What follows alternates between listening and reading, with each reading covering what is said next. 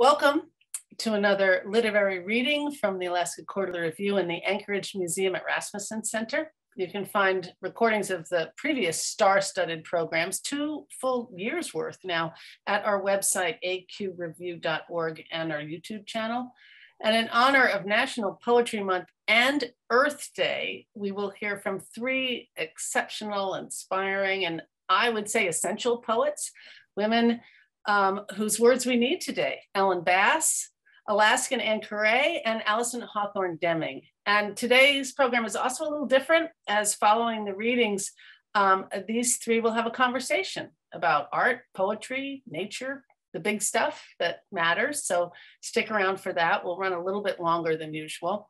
Uh, welcome. Uh, my name is Heather Lende, and I'm the current uh, Alaska State Writer Laureate. And on behalf of the Center for Narrative and Lyric Arts, which is the kind of the board or the fundraising arm of Alaska Quarterly Review. Uh, thank you for being here. Guneshish, as we say uh, where I am, down on the chilly but starting to green up banks of the Chilkat River in uh, Haines or Deschutes, Alaska. It's the land of the uh, Tlingit, Kwan, and Chilkoot Kwan. Uh, while this program is free, AQR, like all literary journals, could uh, use your help. So please consider a donation to support the publication of fine writers like we're about to hear today. And now I'd like to introduce um, Ron Spatz. Ron is the uh, co-founder, uh, editor-in-chief, grand poobah of Alaska Quarterly Review, a professor of English at the University of Alaska. Ron is also a former National Endowment for the Arts Fellow, the recipient of two Alaska Governor's Awards and a Contribution to Literacy Award from the Alaska Center for the Book. And under Ron's, is it 42 years now of enthusiastic leadership and vision, Alaska Quarterly Review has created some strong connections between our state and the larger literary community, and uh, most importantly, been influential in supporting new and emerging writers as well as presenting works that include a rigorous questioning of larger societal issues. Ron? Thank you, Heather. And welcome everybody to our celebration of National Poetry Month and Earth Day. This event concludes our series for 2021. And like all of our events, as Heather said, it is being recorded and will be available on the Alaska Quarterly Review YouTube channel. Please feel to watch any of our prior programs and to share them widely. Alaska Quarterly Review is committed to presenting these programs without charge and to showcase vibrant and uh, diverse new and emerging voices and literary conversations with depth, complexity, and humanity. Before we begin, I'd like to make a few important acknowledgements. Alaska Quarterly Review gratefully acknowledges the Anchorage Museum at Rasmuson Center for hosting and providing technical support for this event, and the Center for the Narrative and Lyric Arts, Alaska Quarterly Review's 501c3 umbrella organization, which makes this event possible. I also want to make a land acknowledgement. Alaska Quarterly Review recognizes the indigenous land on which all Alaskans live AQR is located in Anchorage, and Anchorage is Dena'ina homeland.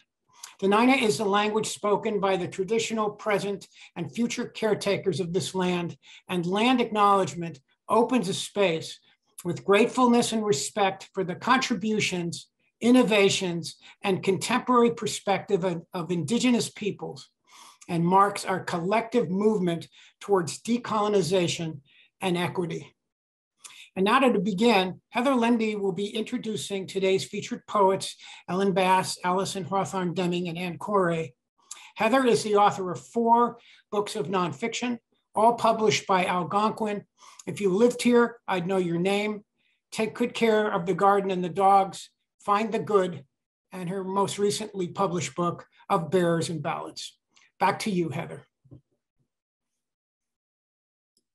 Thank you, Ron. And um, it's really exciting to be here. And I'm going to go ahead and introduce everybody at once, and then they'll just take it away. So uh, it's my pleasure to introduce Alison Hawthorne Deming. Uh, her most recent books include zoologies on animals and the human spirit and the poetry collection Stairway to Heaven. Recipient of a Guggenheim Fellowship, Stegner Fellowship at Stanford, National Endowment for the Arts Fellowships, and a Walt Whitman Award. She's a Regents Professor Emerita at the University of Arizona and lives in Tucson and in New Brunswick in Canada. Her new nonfiction book, A Woven World on Fashion, Fishermen, and the Sardine Dress, was published by Counterpoint Press in 2021. Among her most keen interests is the intersection of art and science. Her work has been awarded the Pablo Neruda Prize from Nimrod, Pushcart Prize, the Gertrude B. Claytor Award from the Poetry Society of America, and the Bayer Award in Science Writing from Creative Nonfiction for the essay, Poetry and Science, A View from the Divide. She's a dedicated teacher and has served on the faculty of, of many places, including the Prague Summer Program, the Taos Summer Writers Conference, the Kachemak Bay Writers Conference here in Alaska, in Homer. Um, and you can still sign up for, for this year's uh, conference, fabulous lineup coming up at the end of May. Uh, the University of Montana's Environmental Writing Institute and uh, the Breadloaf Orion Environmental Writing Workshop, among many, as I said. And her writing has been widely published and anthologized and is perfect for today since she's been everywhere from Scientific American to American Poetry Review. Alison Deming, who says, the arts have been with human culture for at least 30,000 years as a means for us to handle complexity and uncertainty and the beautiful mystery of our inwardness. Data is not the answer. Rethinking ourselves and how we behave toward one another and toward the mothering planet is what counts now.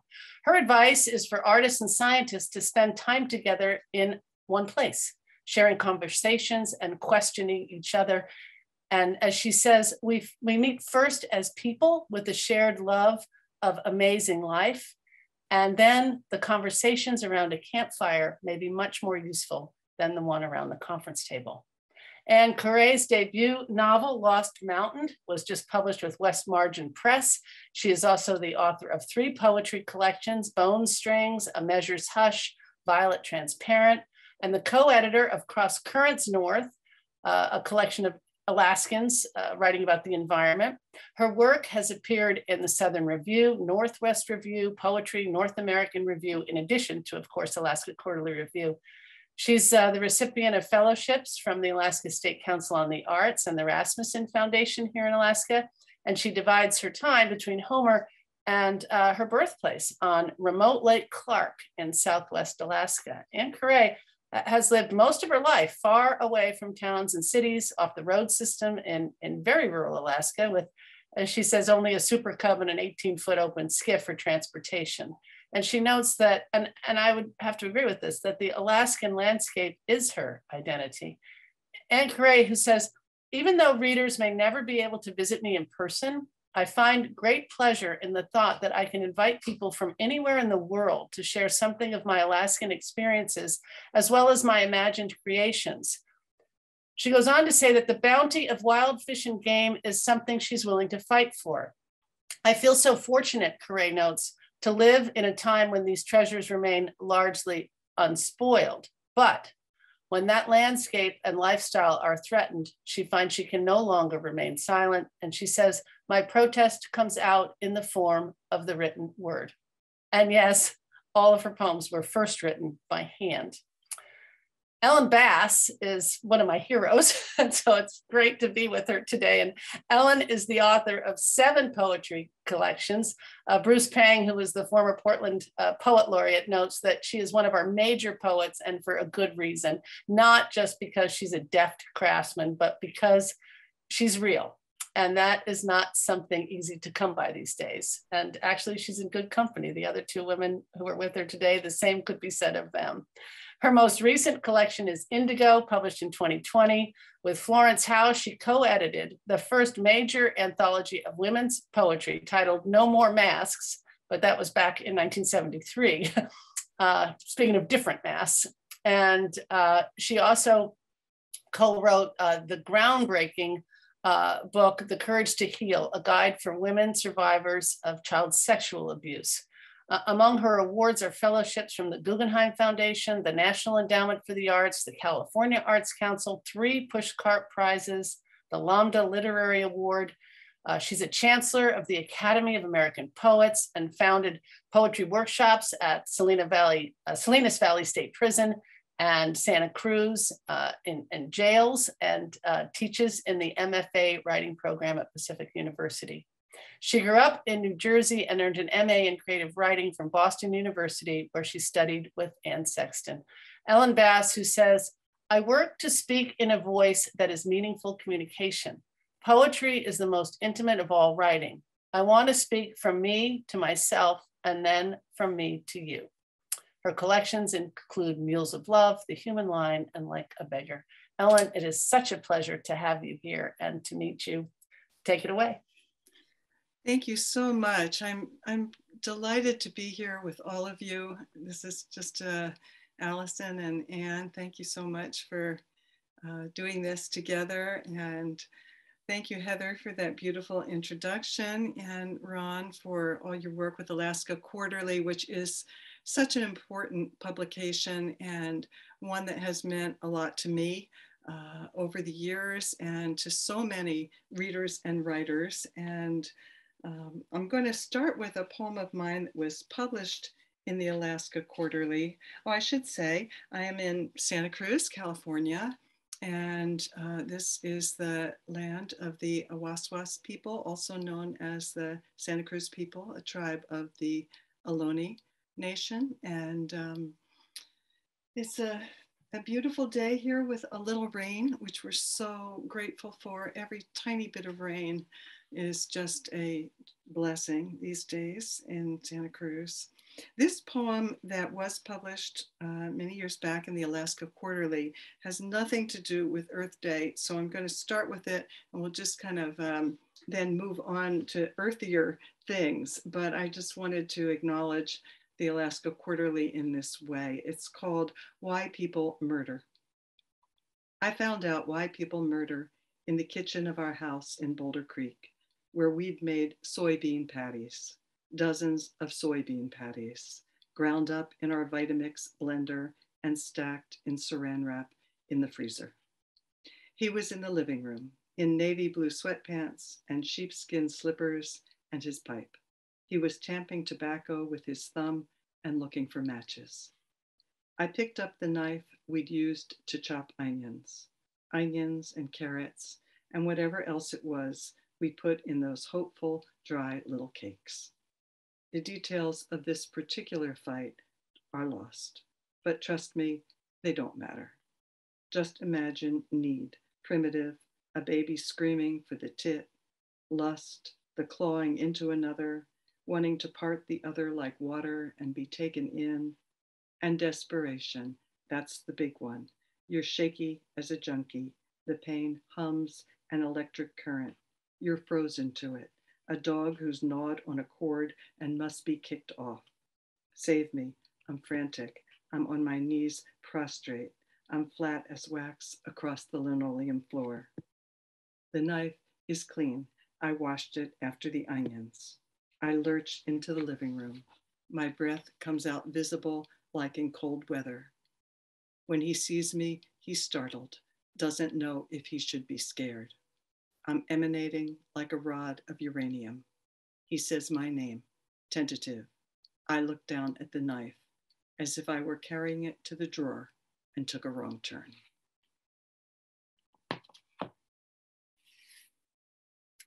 This next poem is called Ode to the First Peach, and I am uh, I, I owe it to my wife who thinks I don't go outside enough and a couple of years back brought me into my office the, the first peach from our peach tree and said, Here, write about this. Ode to the first peach. Only one insect has feasted here. A clear stub of resin plugs the scar, and the hollow where the stem was severed shines with juice. The fur still silvered like a call. Even in the next minute, the hairs will darken, turn more golden in my palm. Heavier this flesh than you would imagine, like the sudden weight of a newborn. Oh, what a marriage of citron and blush. It could be a planet reflected through a hall of mirrors, or what a swan becomes when a fairy shoots it from the sky at dawn. At the beginning of the world, when the first dense pith was ravished, and the stars were not yet lustrous coins fallen from the pockets of night. Who could have dreamed this would be carried from the chaos? Scent of morning and sugar, bruise and hunger, silent, swollen, clefted life, remnant always remaking itself out of that first flaming ripeness.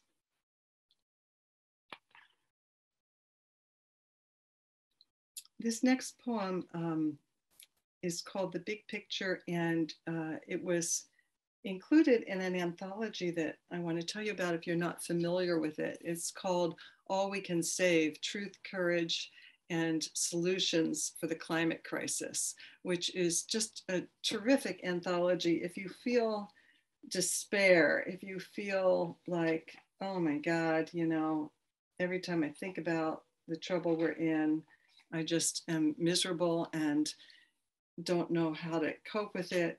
This book is so positive and really energizing and really uh, reminds us that uh, all is not lost. Yes, it's a, I mean, we know how bad it is. I don't need to tell you, but all is not lost and there's so many things we can do. And I was, I was really happy to have my poem included and I just recommend this book really highly, All We Can Save. The big picture. I try to look at the big picture. The sun, ardent tongue, licking us like a mother besotted with her new cub, will wear itself out. Everything is transitory. Think of the meteor that annihilated the dinosaurs, and before that, the volcanoes of the Permian period all those burnt ferns and reptiles, sharks and bony fish. That was extinction on a scale that makes our losses look like a bad day at the slots. And perhaps we're slated to ascend to some kind of intelligence that doesn't need bodies or clean water or even air. But I can't shake my longing for the last 600 Iberian lynx with their tufted ears. Brazilian guitarfish, the 4% of them still cruising the seafloor, eyes staring straight up. And all the newborn marsupials, red kangaroos, joeys the size of honeybees, steelhead trout, river dolphins, so many species of frogs breathing through their damp, permeable membranes. Today on the bus, a woman in a sweater the exact shade of cardinals, and her cardinal colored bra strap exposed on her pale shoulder makes me ache for those bright flashes in the snow. And polar bears, the cream and amber of their fur, the long, hollow hairs through which sun slips, swallowed into their dark skin. When I get home, my son has a headache, and though he's almost grown, asks me to sing him a song. We lie together on the lumpy couch, and I warble out the old show tunes, night and day. They can't take that away from me. A cheap silver chain shimmers across his throat, rising and falling with his pulse. There never was anything else, only these excruciatingly insignificant creatures we love.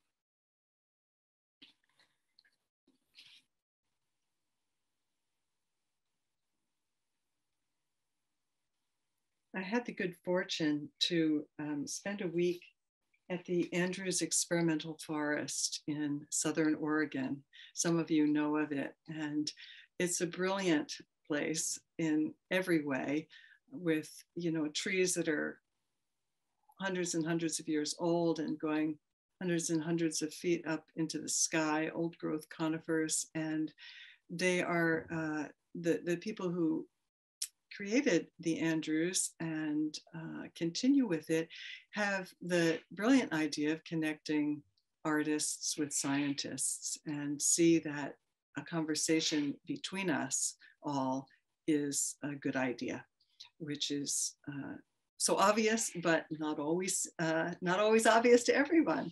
But uh, they have these wonderful residencies, and I loved my week there. And I wrote this poem. It's called "Fungus on Fallen Alder at Lookout Creek." Florid, fluted, flowery petal, flounce of a girl's dress, ruffled fan, striped in what seems to my simple eye an excess of extravagance. Intricately ribboned like a secret code, a colorist's vision of DNA. At the outermost edge, a scallop of ivory, then a tweedy russet, then mouse gray, a crescent of celadon velvet, a streak of sleek seal brown, a dark arc of copper, then butter, then celadon again, again butter, again copper, and on into the center, striped thinner and thinner to the green, green moss furry heart. How can this be necessary?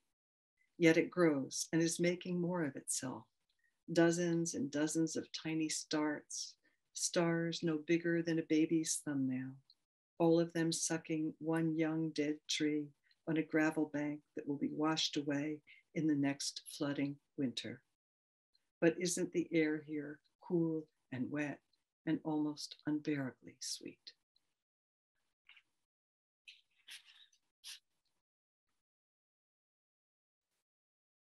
I have um, a couple of new poems that I'd like to read. This one I wrote after spending some time in Yellowstone recently and uh, it's called Wild. I never saw the wolf, but I saw the antelope running, tan blurs rippling down the hill. In the Lamar Valley, willies and willows and aspen drenched in the gold and cadmium yellow of autumn. I joined the crowd on the side of the road, tripods balanced on the roofs of vans, scopes and binos articulating every flicker of blade and leaf, shimmer of fur. And I thought, okay, maybe this is what we get. Like with God or wind or the force that through the green fuse drives the flower. Evidence, still wild in the remnants of the planet. The wolf is there. And um, this one I wrote uh, sometime after being there, after uh, hearing about this situation that I always hate when people tell you what the poem's about before they read the poem, and then you really don't need to hear the poem. So I was just about to go and do that, and I'm just going to stop myself. It's called Fracture when the grizzly cubs were caught, collared, and taken away. Relocated, they call it.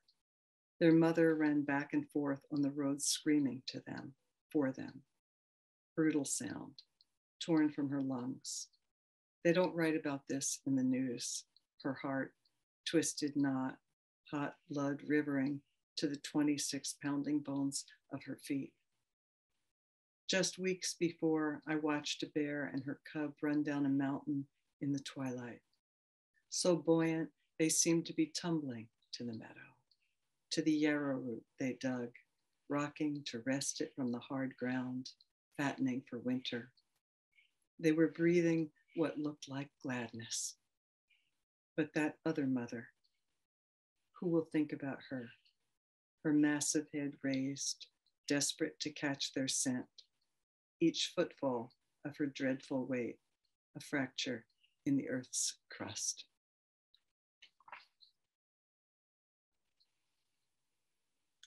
And I'll end with this poem. It's called Still Life. It won't last, of course. The sun at just this angle on the coral tulips. Even now, they're spinning away. But oh, these open mouths reach out on their supple stems, revealing yellow throats, golden pistil, and black anthers wheeling, They ride the air, loose cups of emptiness, satin feathers, parrot colored curtains. They billow, they plume, dreamy sails, slack bells. They lift and tremble at the slightest shift. Even my breath sets them nodding. For a minute, maybe two, they dwell and crest. Then the planet's stream takes them with it, and the shallow pond of light is gone, except the tip of one petal still catching the sun. Thank you. Thank you, Ellen. That was fabulous. Um, and uh, Anne, a, a, fellow Alaskan, uh, it's great to see you here, is uh, up next.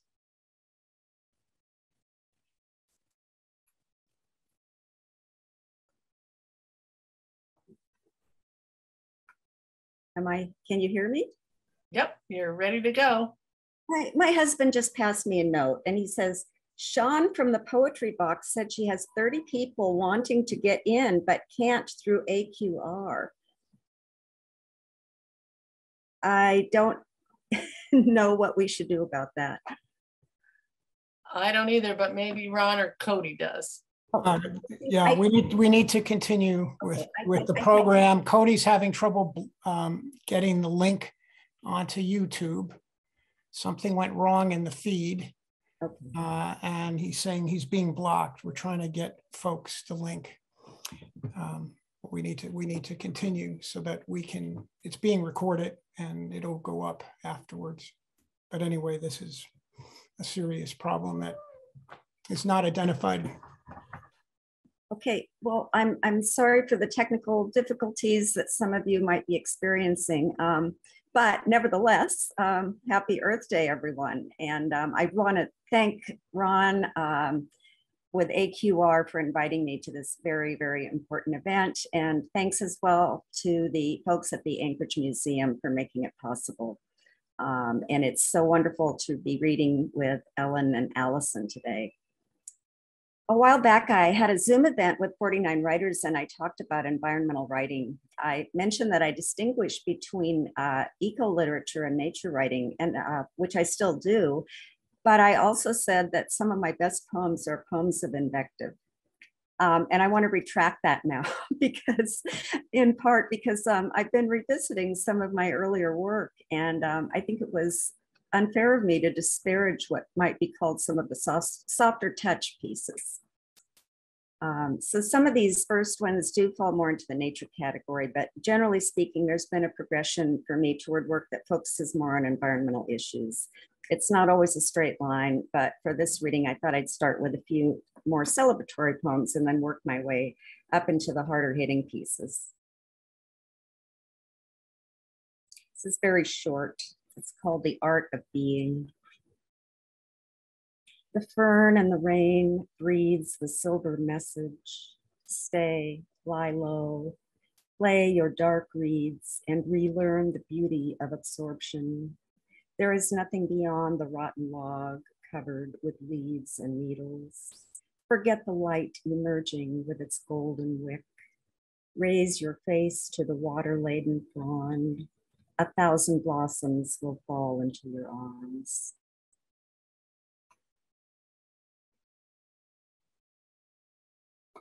This next one is called um, One March Animal's Desire. Um, it's from my first book. And there's a play here on the word march, as in a way of walking and also the month.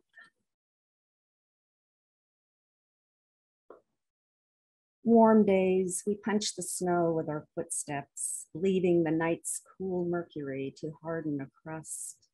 Better to travel early before the sun sends down the weight of its heat. If we were otters, so light and slick, surface wouldn't matter. We'd slide equally happy over white wallow, ice, or berm. Slung so low, we would not long for a pelvic vault conceive ourselves the surrogates of a god. Heads up, one arm wrapped around heaven, the other aping the ground. We're treadfuls of evolution. It's not that great, this awkward posture that lumbers, drills, and pops. Texture, some claim, but I'd as soon leave a glaze or gentle indentation. I want to pass through smoothly, no belt at the hip, no buckle, one tawny hair in my wake where my belly runnels the snow, or a slender whisker dropped in woods as I make my way to the river.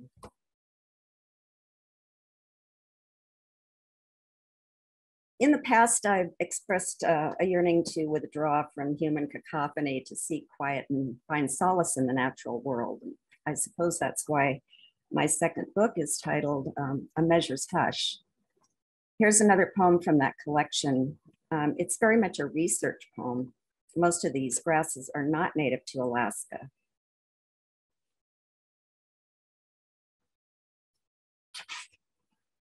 Grass studies. If we can't be ether, I thought we might settle for grass. And why not slender wheat, which serves as forage for wildlife? Less populous than blue joint. It wasn't grown in Europe like canary, or as seed for captive songbirds, or used the way the Chippewa used foxtail to kill their troublesome dogs. A knife to the throat is considerably swifter. But who among us can know her purpose? It's just the sound of slender wheat I like, although oatgrass isn't bad, or timothy, or northern brome, not to be confused with another variety that's smooth and habitat invasive.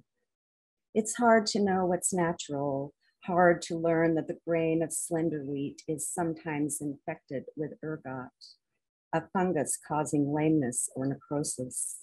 Still, the field is beautiful. There are grasses taller than my head. I'm drawn to the delicacy of inflorescence, the bend of the on in wind. Um, this next piece is, is uh, also from my first book, Bone Strings, and it was written long before the 2016 election but it seems more relevant today uh, with the reference to demagogues. I'd say the designation nature poem gets uh, somewhat clouded here. It's called Heracleum lanatum, which is the uh, Latin name for cow parsnip. And these plants get very tall, some uh, up to eight feet, and they have large white flower heads, um, and they grow all over South Central and Southwest Alaska. Heracleum lanatum. The flowers seem whiter this summer, more delicate than I remember. Drops of ethereal blood, the umbels and onion skin tracing set down with a fine tipped pen. What else might I miss in this life? How many days have I not seen the sky? Soft rags of clouds shining up the blue, their shadows tumbling casually over the mountains, while disillusion, like a dark flame, burned my mind's petty length. I'm tired of human clamor, smudge and clutter of the world. Who wants to go on governed by the same rude horns, the demagogues, the rabble? Let the culture fall to its own cravings. I'm taking up with things divine, leaf filter, sheath, and fiber, Stalks so tall they often lean, but determined to grow taller, that ask for only the rain's thin coins, the soil's nutrient, and a decent light. Moving forward, um, I have a slew of animal death poems, and I'm not going to read them all, but I'll just give you some titles. Elegy for Four Wolves, killed by a neighbor last December. Martha about the last known uh, living passenger pigeon, Dirge about a moose cat that drowned when our dog chased it into the water and my feelings of guilt, uh, and Window Feather about a junco that hit my window. I want to read this next one, not only because it was published in AQR, but because it represents how reading has taken me to other places.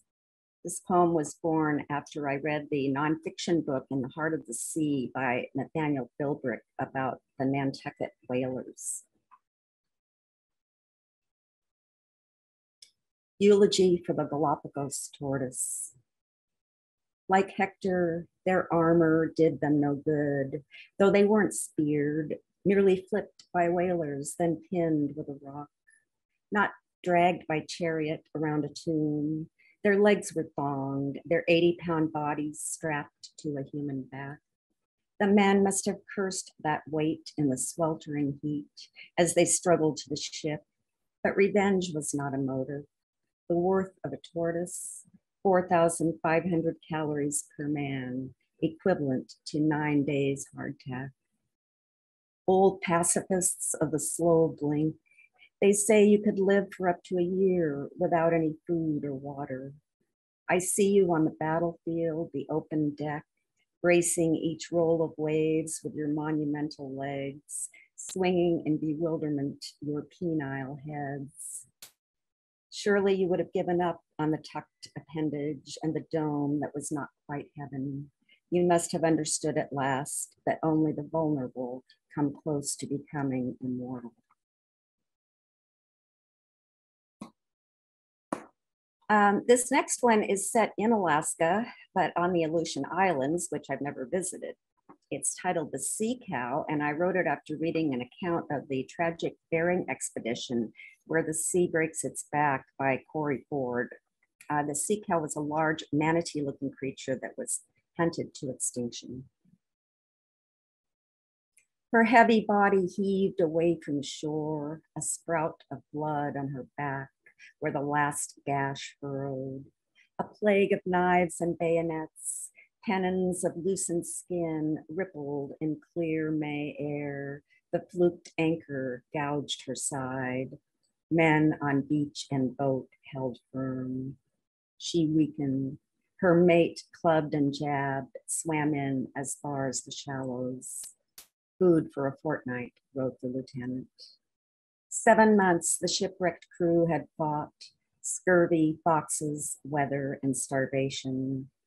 40 would survive, not Bering. He died December 8, half buried already in sand, discredited, scorned. He'd given 10 years to the crown, an ever listing ship of duties. He was tired. He cared no more for honor.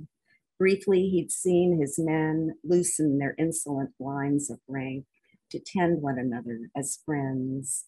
At the edge of his dreams, the sea cow nibbled the tender kelp quietly, as if kindness could be a way of life. Um, I wanted to read another piece called From the Testimony of Rivers um, because the speaker, we, is the collective voice of rivers, but I don't have time for it. So I'm going to move on to the climate change poems. Um, again, I have a lot of them, but I wanted to share two that just appeared in AQR. Um, these are part of a 24 poem linked sonnet sequence that it will be published this summer as a chapbook titled Late Fall Bucolics, which is meant ironically. This is called Gullible Hope. Uh, I stole the phrase from Plato, and it was great fun to research how various cult cultures have perceived hope. And um, I was really happy to throw in Greta Thunberg's comments about it here. Little heads up, Elpis was the spirit of hope in Greek mythology, and uh, Vaughn was the North, Norse name for hope. Gullible hope. Gullible hope has managed to endure since Pandora first trapped the spirit in her jar, while evil outside thrived. A firefly so kept is sure to die. And with our current climatic war, even the ancient Greeks would have marveled at her survival. Though whether Elpis was deemed a gift or curse was long debated. For the grizzled Norseman, Vaughn was poorly rated, slobber that streamed from the jaws of Fenris Wolf, verse less than suitable for the Bible while Greta, our solemn Swedish maiden, is partial to panic. I don't want you to be hopeful, she declares. She flips back her braids and urges action. I look to the sky, no moon tonight, and I've lost her last position. She'll wax again and wane before Earth's holocaust. Uh, and then the, the follow-up poem to this, because these are linked sonnets. Um, this, this one is uh, called Holos, and it begins with an etym etymological exploration of the, world, the word Holocaust. Holos, whole with kaustos, burnt, is Holocaust. For ancients, sacrificed by fire, burnt offerings. Moderns present them via car and ship exhaust toxic gases, particles that clog the lungs. Oh, earthlings, forever giving, no mere bowl, but a heavenful of benefactions. Imagine what's up there fumes of goat, sheep, bullock, pigeon, and turtle dove. All the heated breath that's fashioned into prayer, not to mention smoke from the Amazon and Indonesia, there's more, of course, but the list is tedious. God is stifling a wide yawn. Enough. You'd think by now he would insist we curb the burning. We need a sign, monsoon and hurricane that scald and blister the skin, a blazing wind, a searing rain. Um, and one more. This is um, also from this, um, this sequence. Um, they're all rhyme sonnets, by the way. And this one is very much a place poem. And um, here I point, to my own culpability regarding climate change. It's called Rapt, R-A-P-T. Evening, the welcome dark. We lie on the bed, wrapped by fire, visible through the glass door of our stove flame, a serpent's tongue, coals, hot coral, capped with beetle-killed rounds, rounds of spruce. The insects love the changing climate, as Steve and I love wood, the texture, the heft, the harvest, the sawing and hauling until the split dry log in its smelted coffin is laid to rest. And mostly the warmth, which feels more natural a source than that of a furnace fed with oil we justify our use. Trees are renewable. But too many homes reliant have denuded whole landscapes, engendered injurious air. What choice? We are here. Our lifestyle we pledge to spare. Thank you very much. Well, thank you, Anne. I'm looking forward to this conversation as we move forward now into Alison. It's a pleasure. Uh, it's a great pleasure to be here um, to celebrate Earth Day uh, and to celebrate with these two other amazing poets, Ellen and Anne. Thank you for your beautiful work. Uh, I'm also very happy to help celebrate Alaska Quarterly Review, uh, which has done so much for writing and writers for so long, and Ron for shepherding that effort for so many years. So thank you so much for inviting me today even though my background does not say so, I am speaking to you from the Sonoran Desert, where I live most of the year. And this is uh, is home to 22 federally recognized tribes, and it's currently the home of the Tohono O'odham and the Yaqui people. And I am very grateful to share the community with uh, their history and their present and their future. Uh, I'm going to read uh, poems, uh, and it's uh, I, I, I was shocked to see how long ago these poems appeared in Alaska Quarterly Review. I'm going to have to send you some new work, I think.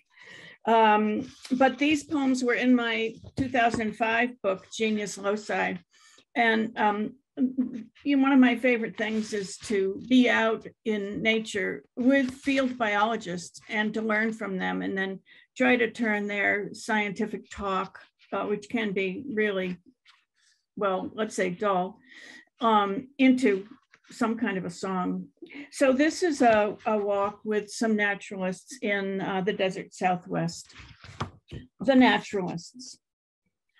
When the naturalists see a pile of scat, they speed toward it as if a rare orchid bloomed in their path. They pick apart the desiccated turds, retrieving a coarse black javelina hair or husk of pinon nut as if unearthing gems. They get down on their knees to nose into flowers a micron wide, belly flowers, they say, because that's what you get down on to see them.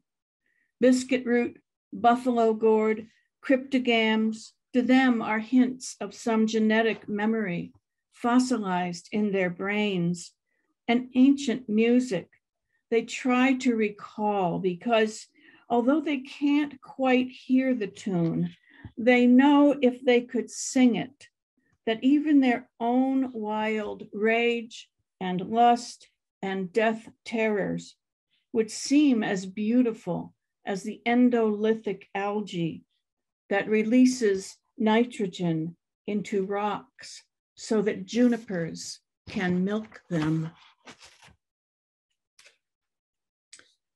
I the forest behind me is in the Canadian Maritimes, where I've spent um, summers since I was a young child, and um, this also was in um, uh, Alaska Quarterly and you know I, I love picking wild fruit up there and I, I, think probably the wild fruit the wild berry season is really close to alaska's although we don't have salmon berries. And this is a sequence of poems. I'm just going to read the first two but it kind of goes through the whole season of the wild berries from the strawberries to the raspberries to the blueberries and gooseberries and, and blackberries. Um, i'll just read the first two the, sequence opens with a quotation from Paul, First Corinthians, but take heed lest by any means this liberty of yours become a stumbling block to them that are weak. One, at the cusp when spring begins to turn into summer, come the strawberries, little baby's knuckles lying low in the scrub so that one who would taste their juice must kneel or lie on the ground, testing her gentleness. The season is short, yet if she grows impatient, she will carry home only the blood soaked into the jeans, soaked into the knees of her jeans. They are so precious that a woman might refuse to eat them. Five years worth in jars untouched on the shelf. But she would grow bitter from trying to hold on to that which will pass. Two, if you want wild raspberries, level an acre of forest and leave the lot a mess of bleaching brush. The brambles will crawl out of the rubble as if to compensate the land for its grievous loss. To pick the berries, you must walk knee deep in deadfalls, waist high in thorns, and compete with yellow jackets. You must inch your way into thickets, crushing a path through the canes, throwing off the green beetle and white spider that rise in your bucket like stones in a farmer's field. And when you are done, backtracking through your own destruction. You will step free of the uncertain ground and walk happily, perhaps through a meadow of ferns, to come home, lay ice on the bee stings, and savor in small handfuls the healing taste of the wild. Um, uh, may you all have many berries this summer, wherever you are. So I'm going to read a few poems now from uh, a new manuscript, uh, which is called the, Ex the Excavations, which I've just finished. Um, and um, uh, again, I will be bi-regional, but the first one is set uh, in the Southwest. I went up to hike in the Sedona regions, beautiful red rock country, and um, there was such wildfire there that one couldn't get into any trail. Everything was closed. It was perilous. National Forest, Bell Rock, Courthouse Rock, Devil's Bridge. Time has made the landforms and they grow more beautiful with age. Names come from the human world, possession bleeding into perception. What if the land had its own language, no alphabet, but steady drone of grasslands, groan of mountains, drought fires scream a drawn out cry, hiss of rain, simmer of seeds stirring restless in the soil, pure presence and process breaking into the place made new by cataclysm. That's the planet speaking. And she cares about the fissures in the dry riverbed, about the lack of ripe cherries in Washington and blue crabs in Maryland, Savannah lions down by half. She cares about the sunrise, dandelions, the PCBs. She embraces whatever we give her blood, bone, rust, become her. She invented us to do the work the word care implies, invented us to invent words, the thicket of endless possibilities. So death does not get the last word. So groan and hiss could be accompanied by our chatter, dirge, thesis, and psalm. If you hear some strange noises, I have a puppy who is breathing heavily beside me because she loves uh, poetry reading. So um, please welcome her, and I hope she won't be too distracting. She has a limited um, period of time for which she likes poetry, but hopefully she will continue for a bit longer for us. Um, this is another poem from this manuscript, and this is uh, this was a poem that was in Scientific American. It was such a thrill and honor to be in in that magazine, and um, this poem set in New Hampshire, where I was teaching at the uh, Environmental Literature Institute, which is a wonderful program for um, largely for high school teachers. And we went out and had a field experience, and, and this poem came out of that. Letter to 2050. The Squamscott River grew lazy in early summer. Muskrat rose and dove, heron swept the air and landed, and hemlocks that had survived another century's practice of harvesting their bark were thriving. Some suffered from beaver girdles and the predation of woolly adelgids, but still, the pileated woodpeckers found what they required in the snags. This is how it was for us, pulling threads of hope out of the air as if we had the skill to weave them back into webs. We surprised ourselves when it worked, so much needed to be undone. But I promise you, as paltry as our efforts may seem to you, no, I won't justify our failures. The story of the alewives' return, that's what I wanted you to know because it helps to think of desires that last for centuries without being satisfied. How far inland did the alewives come, I wondered. The dam removed after 300 years, and in the first year, then they came in a rush. Locals could hear the gulls gathered in the estuary in their joy, and the alewives swam and swam to the reaches of their ancestors. 11 miles and 300 years of appetite for place. Their genes remembered and knew how to find. The Abenaki offered a welcome back ceremony, and fishers gathered, human, cat, and bird, to feast. And the memory that had been thwarted for centuries became a fertile flow. So um, I've been really fortunate when I'm up in the Bay of Fundy to uh, go out to a research site on a little tiny island, it's about a mile long, Kent Island, where Bowdoin, Bowdoin College has been doing scientific research. Um, I think since the 40s, 30s or 40s, and there's a bird I've come to know there.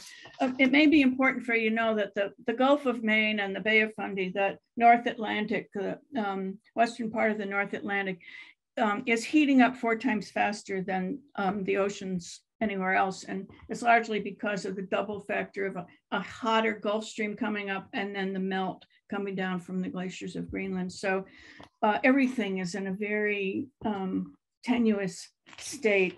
But one of the species that's been studied there um, for a, a, very long time, since the mid 50s, is this marvelous pelagic bird, the Leach's storm petrel.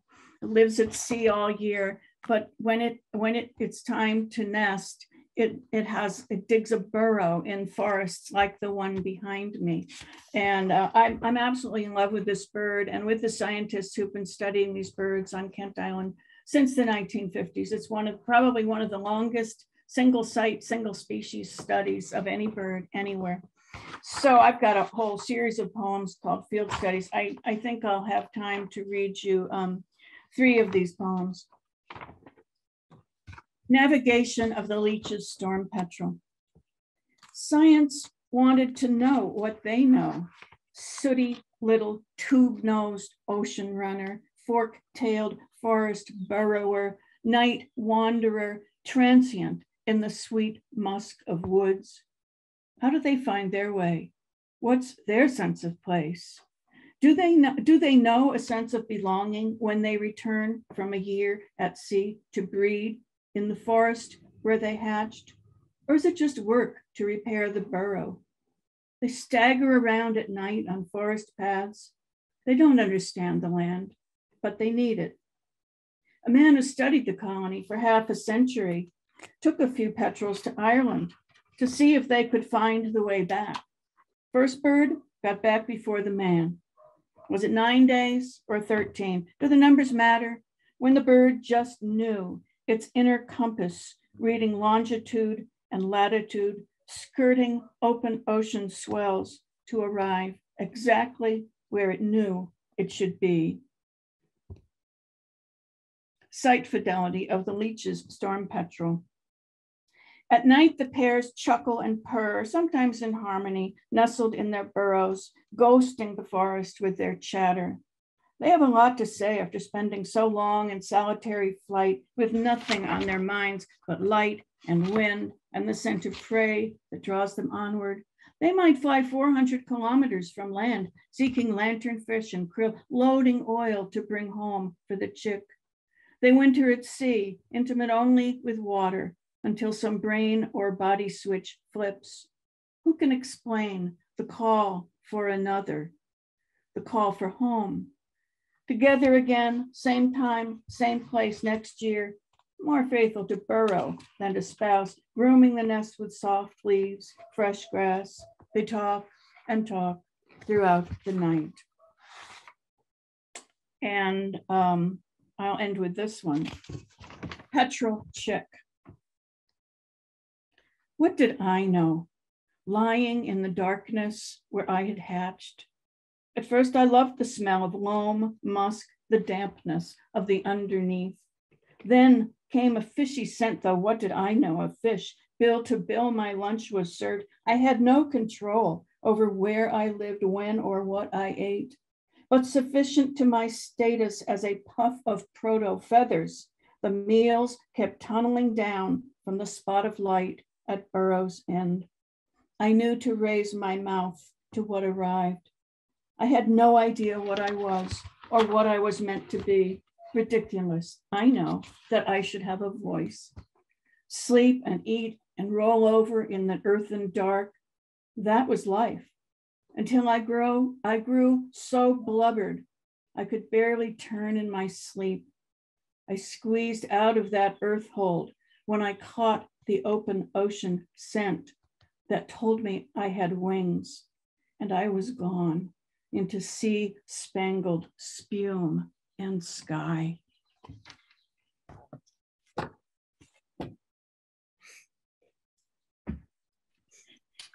Oh man, that was fabulous, Alison. Thank you for uh, for being our cleanup hitter here. um, and um, now uh, I guess you three are going to take it away and have a little conversation about uh, what it all means.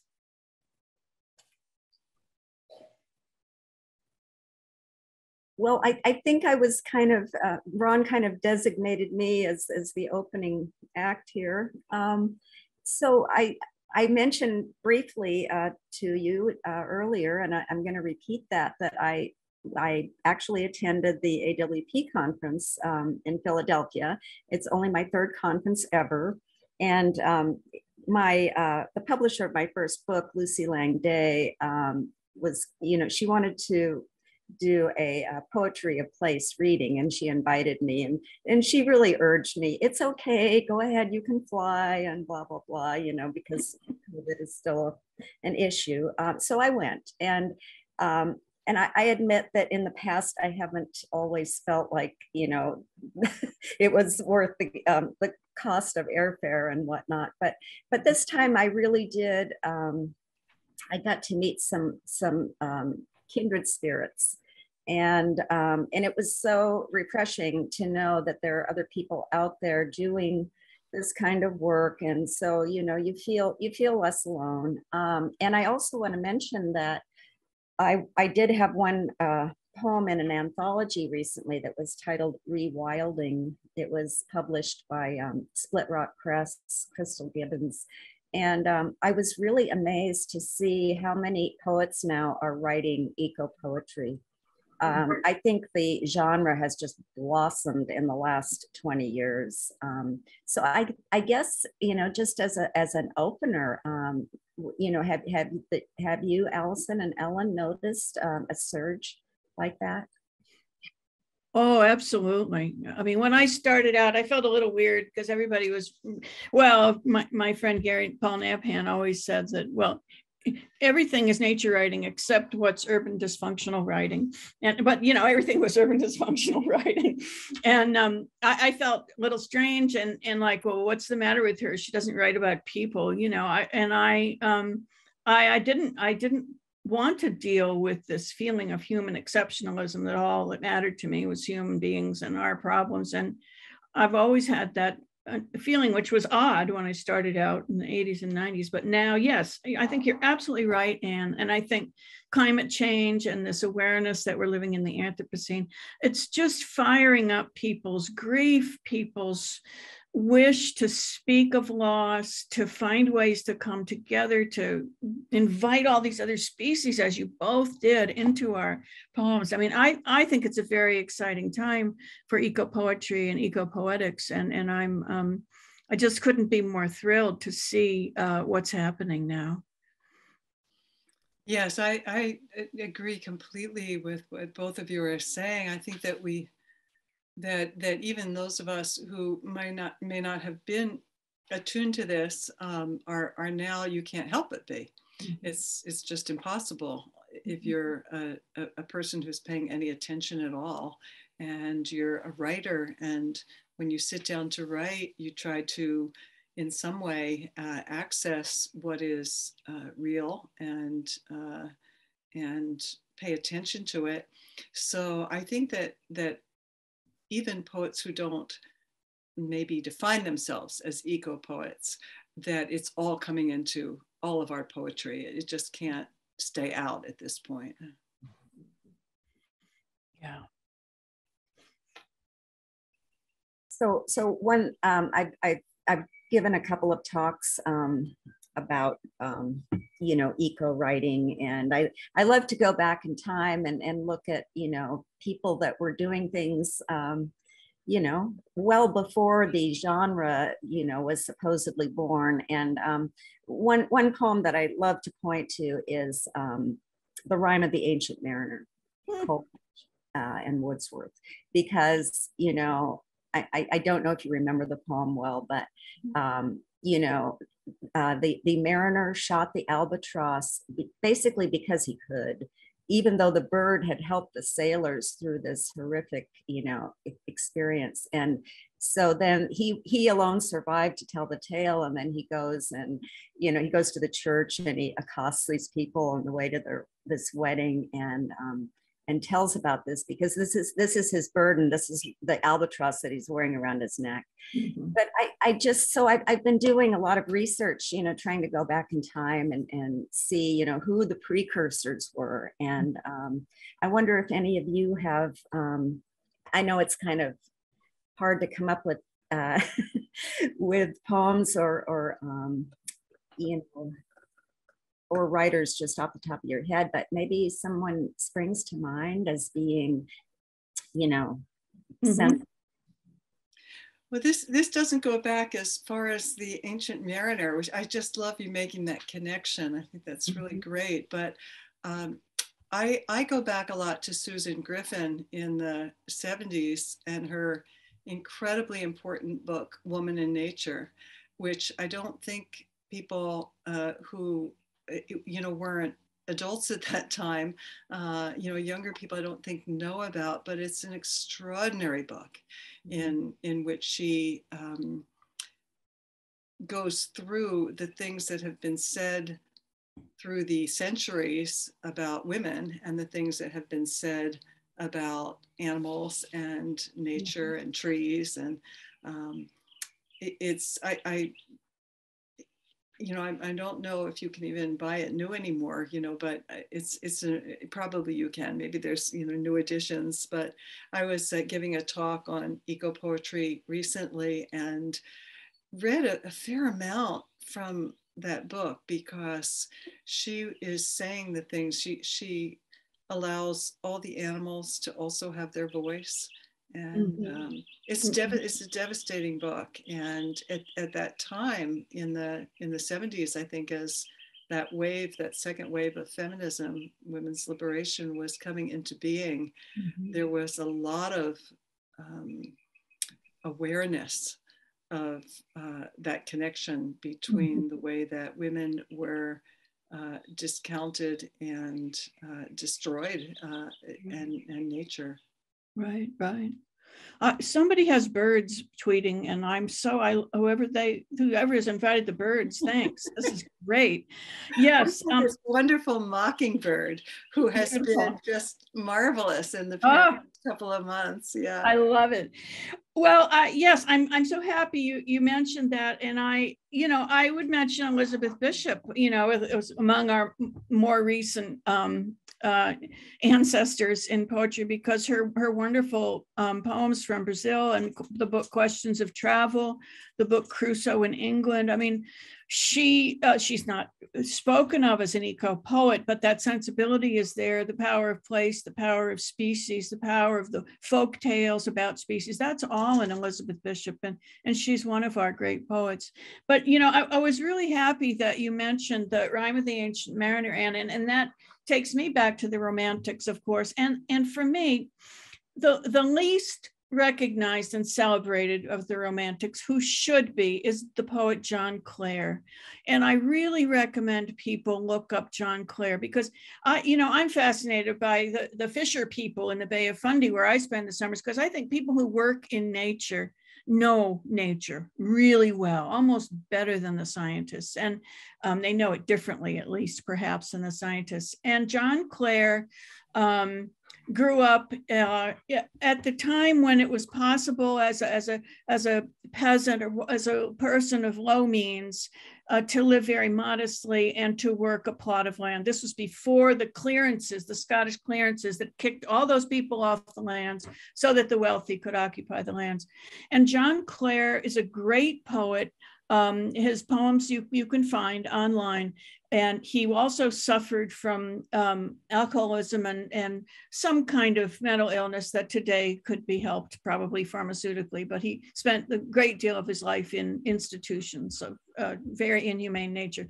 But I highly recommend that people look for his bird nest poems because they're absolutely beautiful and they're all the field observation, the specificity of the species, what they use to build their nests with, what their eggs looked like, the fragility of these birds' nests lying in an agricultural field where the horses are coming through with the plows. He got it, you know, he got the observational detail, he got the beauty of nature, he got the fragility of nature.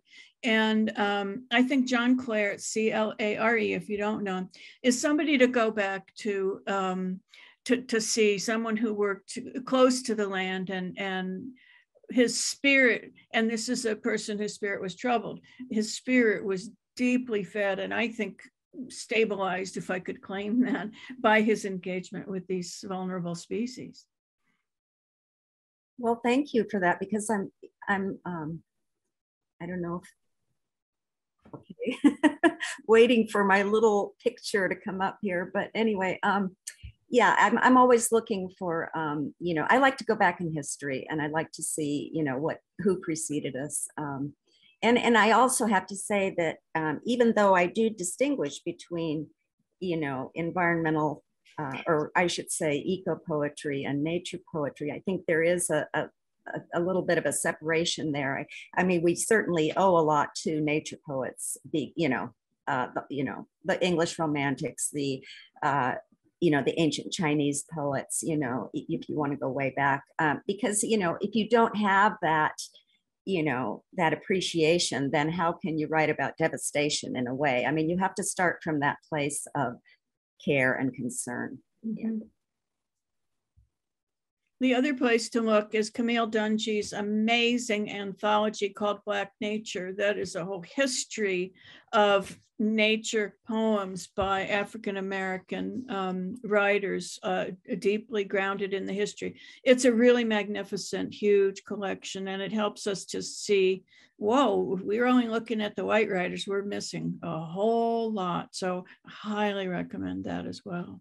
Yeah, that's that's a great book. That's that, really great. But one poem after it's it's yeah. a fat book, and the poems yeah. are all so good. I know. And that the uh, I mean, there's so many anthologies now, but the other one that I think is very very strong is the Eco Poetry Anthology that Ann Fisher-Wirth and Laura Laura is it Gray Street? Yeah. Yeah. Um, yes, absolutely agreed. That that uh, also is just terrific and um, and the poems are so varied in both of these. I, mm-hmm. that's one of the things that I, I like about both these anthologies is that you don't read one poem after another that is doing essentially the same thing, even if it's doing it well. They, all the poems are coming from such different perspectives and, and uh, angles and sensibilities, styles. I just wanted to mention too that, um, you know, I, I personally find that I, I use nonfiction a lot. Um, yeah, I'd like to slip in little bits of history here and there. And so I, I think it's really important for poets to read nonfiction. Um, you know, otherwise we kind of get tunnel vision, I think. Um, so just those, that's why I wanted to read those two examples, those poems where I, you know, they were, they were directly taken from um, from from those works you know where the sea breaks its back and um, in the mm-hmm. heart of mm-hmm. so what what what are we missing here we're getting close to our time is there some wrap up thoughts that um, you know we we want to part with Well, I think people always come to these sessions feeling a lot of grief and a lot of loss and often a lot of futility. And um, maybe, you know, I was really interested in when you mentioned hope and the different cultural readings of what hope might be. And um, I always remember, I mean, maybe we should talk about and, and give our listeners something to think about in terms of those feelings which can silence us you know they can silence us and and how do we find our voice so that we can make a contribution um, and, and I think that's a really important thing for us to do to, to bring people together um, to be honest and share those feelings. It was in everybody's works to you know that we heard today. Um, I don't know if uh, you both have something that you'd like to add or something that you'd like to add in about what you were saying about hope and, and the different senses of that that you saw across cultures. Well, I have to say, I've, I've become with age um, increasingly pessimistic. and so, but, um, you know, but there is this there's this paradox, you know, like here I am writing about it. I mean, if you're going to write, you know, that is kind of a hopeful act, isn't it? Otherwise, you might as well just zip the mouth and, you know. So I think the very act of writing is in some weird way hopeful. Mm-hmm. Mm-hmm. Even if you're writing about how you don't believe in hope. Well, I think whenever we're talking to each other, um, that's a, a, a, positive step uh, because when we, it's when we stop talking, you know, it's when we are completely silenced that then we're really paralyzed. And I, I do love that the, the uh, editors of, of All We Can Save, I listened to an interview with them a little while back and um, they were asking um, about the interviewer was asking about hope and she she said you know fuck hope. Uh, i want action and solutions. Yeah. so I, I guess what i would say is that i mean i if i say this i don't completely you know I, I believe both sides of this. I mean we need hope but i think there's a way in which we also can't or for myself, I'll say, I can't think too much about whether things are hopeful. You know, how are they going to turn out? Is it going to be all right? Will the human species survive? You know, if I start getting too much into hope, um, then it, it, I don't really have very much um, power. I don't have very much, you know, ability to just say, okay, what is the next thing that maybe I could do? Right. So, you know, whether this all turns out well or not, you know, how do we want to live our lives? Mm-hmm. And, you know, that gets me then grounded in a place where I'm not reliant on something that I, you know can't predict and and mm-hmm. and you know it, it's not looking real rosy out there we all know that but if i can focus on you know what can i do and of course not only writing but you know the the the large and small things that we can do in our own lives that can feel too small. But of course, if we're all doing them, then they're not too small at all. Um, and there's so many ways that, regardless of our circumstances, we can uh, make small differences that add up. So it's that action and solutions that I I really keep focusing on, um, you know, rather than the hope part. Can I bring in the, the late great poet W.S. Merwin here because he helped me a lot think about this. And he worked so hard for conservation in Hawaii. And almost every cause he worked for, other than the palm forest he grew, you know, failed. But he he was speaking to a group of us in Arizona once, and you know everybody's getting more and more depressed talking about this stuff. And somebody said, "Well, are you at all hopeful?" And he said, um, "I am not optimistic, but I have hope. And that's a very different thing because I make a decision to be hopeful. And then he mm-hmm. gave this great an- analogy, and I've been telling it ever since he said it. so this is from W.S. Merwin. When we're in a lifeboat, it's not the time for our worst behavior. It's the time for our best behavior. And you know, that's that's a pretty decent motto to pick up what Ellen's saying about agency, you know. So well, eh, since you bring up W.S. Merwin, I mean, I have to say one of my very favorite poems of all times time is is called the last one and he, oh yes he uses a tree as a metaphor you know for um, human greed and um, and but that uh, that poem is also filled with invective i mean it's a oh, yeah. angry poem and but i i think that reading things like that kind of gave me permission you know? It's like it's okay. You can express those feelings. Yeah. Uh, yes. Yeah. Yeah.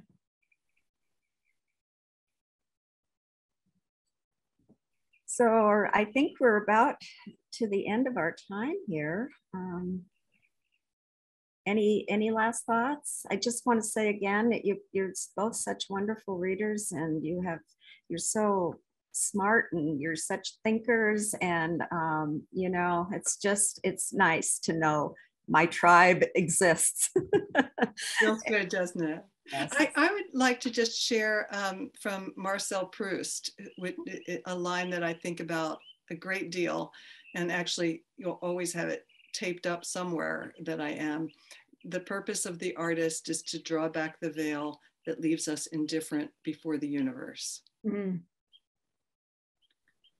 Beautiful. Thank you. I guess I, I just want to say how grateful I am to um, uh, all of you.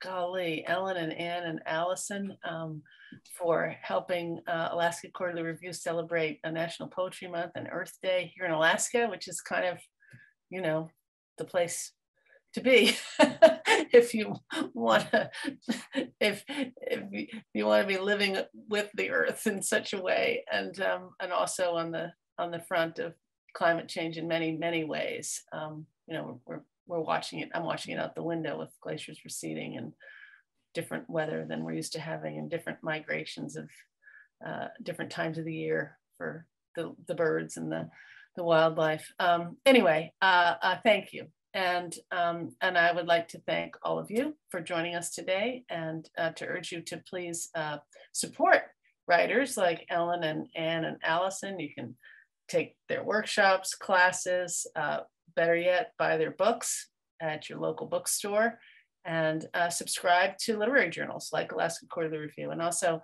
since we're done with the series here for, for this uh, year and from last year, I, I just really want to thank Cody Carver at the Anchorage uh, Museum at Rasmuson Center, who, who just produces these programs behind the scene, and for Ron for uh, giving me the privilege of getting to be part of this. So thank you.